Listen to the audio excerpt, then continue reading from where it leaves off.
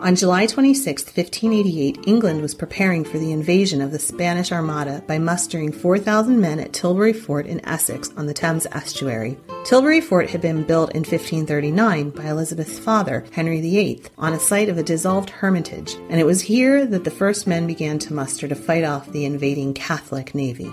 On July 19th, the Armada came into view for the first time, and, according to legend, Sir Francis Drake finished his game of bowls before he went to see off the Spanish.